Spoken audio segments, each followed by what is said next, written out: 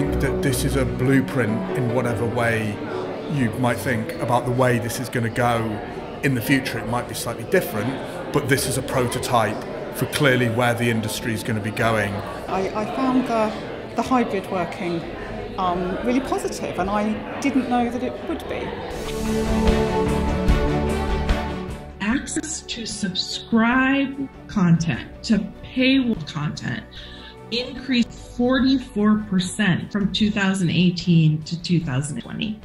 So, what I'd like to do in this presentation is to highlight some of the key findings of a report which we recently published. One of the challenges um, that I face as an editorial board member sometimes is finding appropriate peer reviewers. We are talking about about inclusivity and diversity and global access, for example. You know, we need people from South Africa, from Nepal, from Bangladesh, have people from all around the world who wouldn't be able to attend these kind of conferences in person.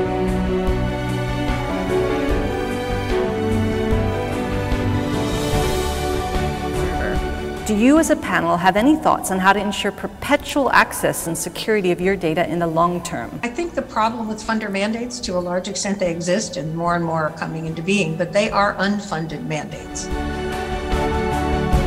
I really enjoyed the workshops. I think being able to have that kind of discussion about a topic so in depth was really, really beneficial. The opportunity to network is something that I had been terrified of, but everyone has been so friendly it always has an interesting mix of people from across scholarly communication.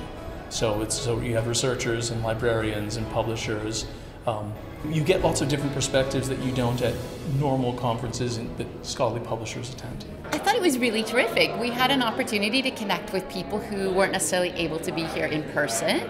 We had a really nice mix in different sessions of folks who were online and folks who were in the room. And even the graphics of zooming in and out of the person on stage to the folks coming in virtually was, was really excellent.